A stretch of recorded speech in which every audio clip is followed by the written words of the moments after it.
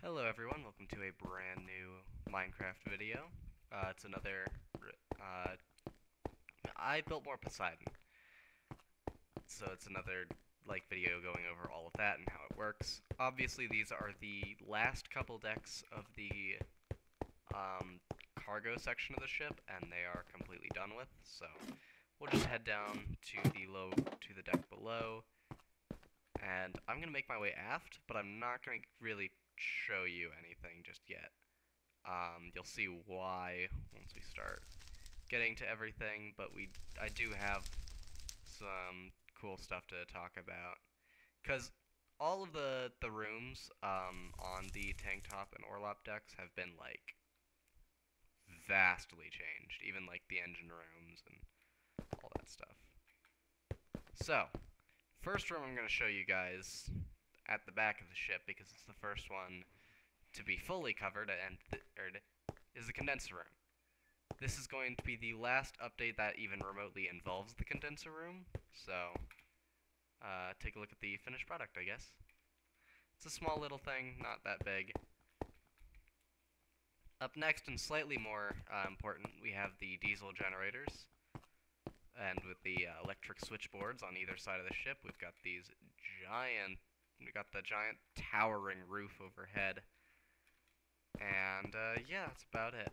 Heading up these stairs here to the top of this area, we have the Orlop deck sign, and then we have the Engineer's Lounge, as well as the, as of yet unfinished,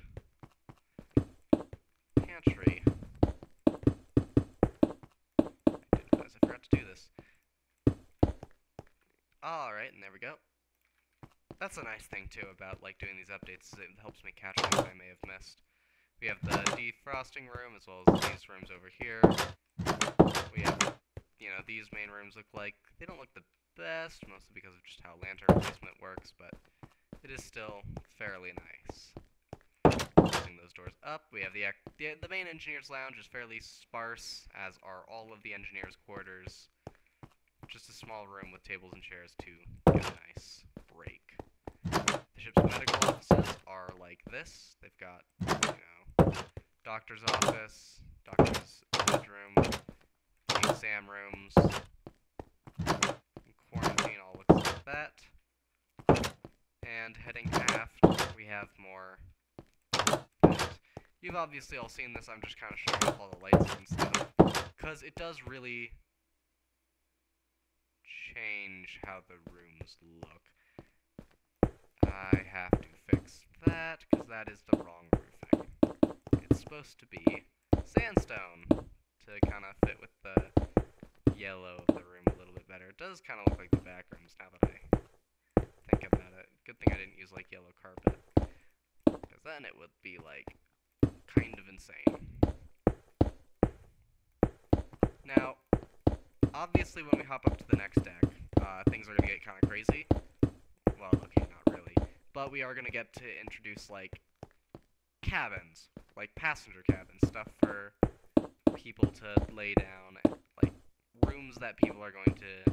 Passengers are going to use regularly. And obviously that's, like, a big leap forward when it comes to the ship and its functioning and all of that stuff. Because now, we have moved out of the part of the ship where it's mostly crew stuff, which means a lot of the architecture is going to change, a lot of the feel of the ship is going to change. Obviously, this is a very Spartan room. Um, no one would really like to use it, and it's a, just a little too modern for, like, you know, a grand ocean liner. So we're going to finally start seeing what the ship is supposed to be. Just to be clear, Engineer's Lounge is correct? Yes, okay. So, heading aft, we have the uh, sec um, uh, secondary dining room, I guess. Just kind of a sm small room here. I say small, it's like probably one of the biggest rooms in the ship, aside from... Okay, no, that's a lie, it's definitely not, so small does count. And then the main dining room here. Just this big old thing with a metric fuck ton of lights. Um, all the way aft, we have this room here, and the galley, which looks like this now. And heading up finally, we have the second class quarters. And it is a strange spot. Again, it's all below the waterline, so everything's kind of weird. And I'm not really sure what I'm going to do with all of this, because this whole slope is just insanely angled, and all of this is second class cabins. I don't really know how I'm to deal with that, how I'm to fix that, but we'll see how it goes, because I think I'll just have to kind of fight the hull of the ship like you see here. So I obviously went with a very interesting, uh, this is what an average cabin looks like by the way. I went with a very interesting design for like the inside of the second class area. I think I'm going to only use the mangrove stuff for this deck, and I'll just make it dark oak the rest of the way up. And uh, for the floor, I'm using sandstone and uh, dark con or black terracotta, I believe. Yeah. And yeah.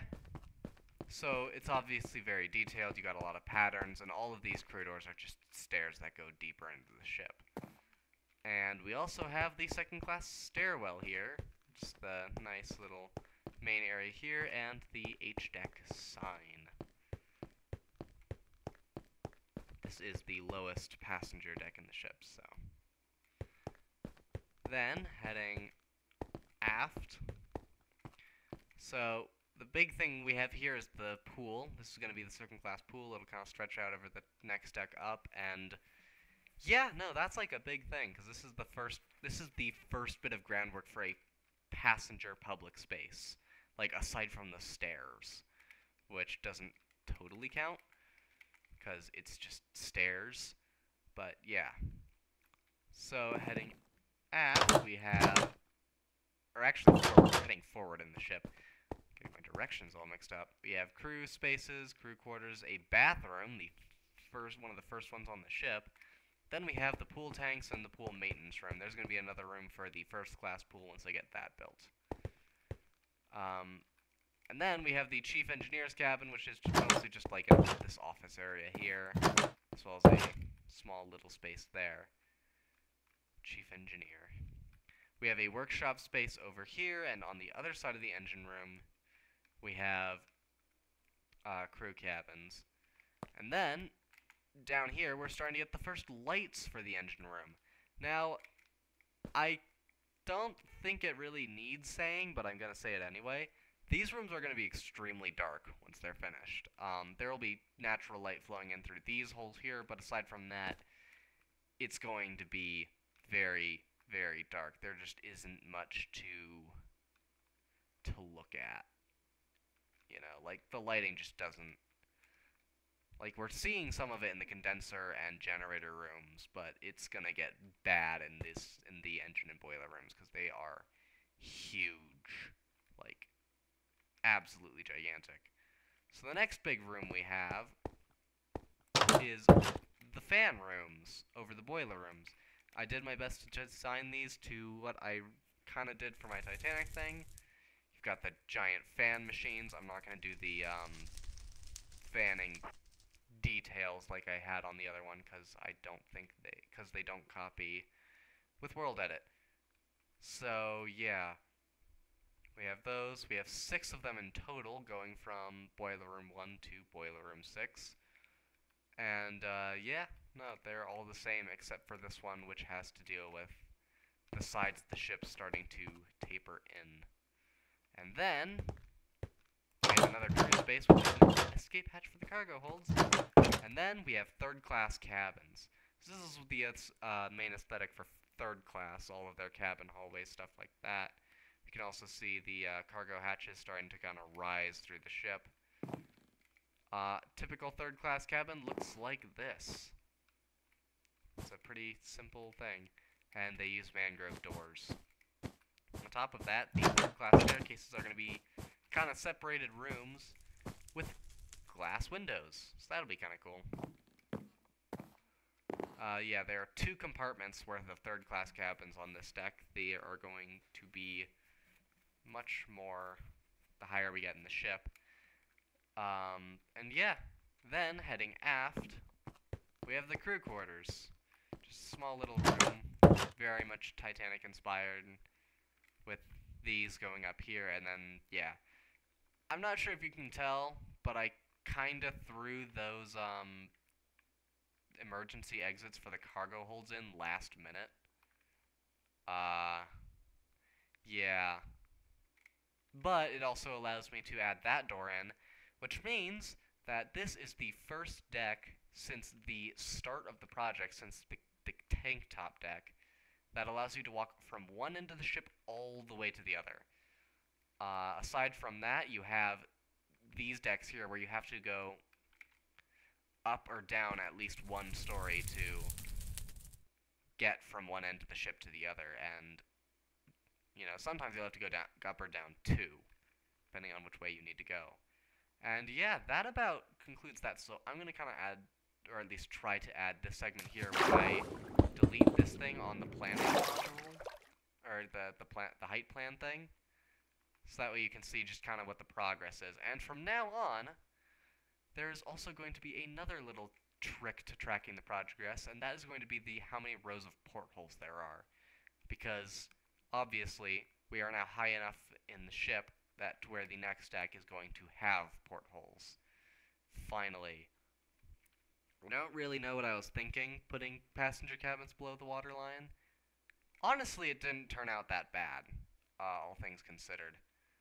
I think it turned out quite nicely, actually, and, you know, it allows me to kind of demo some stuff for, you know, first and second class and stuff. Or Actually, no, second and third class. First class hasn't even been attempted yet, and won't be until, uh, I believe, E deck. Or is that F deck? Yeah, that's F deck. So F deck is where you're going to start really seeing what first class is going to be like, and I'm excited for that because obviously that's like the centerpiece of the ship, like the insane dining room that's going to be absolutely huge. I need to be very careful not to talk it up too much because I have done a lot of I've done a lot of yapping when it comes to that, and I'm not sure if my building skills will actually be able to um, fulfill that or live up to that. So yeah, hopefully it it's enough. I would really like it to be. I um I'm very excited and I want to see this this vision just brought to life. And yeah, oh, and expect uh, more videos on like Roblox and stuff coming soon. Uh, Naval Experiences, the guy, people who made Shipwrecked have a very interesting update in the works. Uh, I won't say too much about, but yeah, no, I am excited to see where all of that goes and how all of that works. You know. Um. Yeah, uh, Maritime Interactive, they've been doing a lot of weird stuff as of late. Uh, I don't really know what's going on with them. And Mar- and Naval Role Playing Association has like four or five different ships that are like on the very verge of completing. I'm weirded out by the Corinth. I have no idea. Like that one seems like I might need to do a video just joining the engineering department for a day because that looks incredible what they're doing down there. Um, but yeah, no. I'll have to see to all that because this is the whole thing is looking very very interesting. Like the scene for Roblox boat games, and uh, yeah, no, I uh, I will see you all in the next video. I'm gonna kind of hop up, just kind of give you like a top-down view of the entire thing. I think that's about where the midway point of the ship is. Uh, it's like I've started to notice this, um, like compared to the paper, the ship actually feels kind of small. Like, cause I use graph paper to do all my planning, and this this design is three papers long, so that is quite interest. It is quite interesting. But yeah, no, that is about what the ship looks like from a top-down view. Uh, you've obviously got to kind of squint through the clouds and stuff. But yeah, no. That's all I've got for uh, this video today. Uh, I hope to see you all in the next one. And uh, yeah, that's all for now. Bye-bye.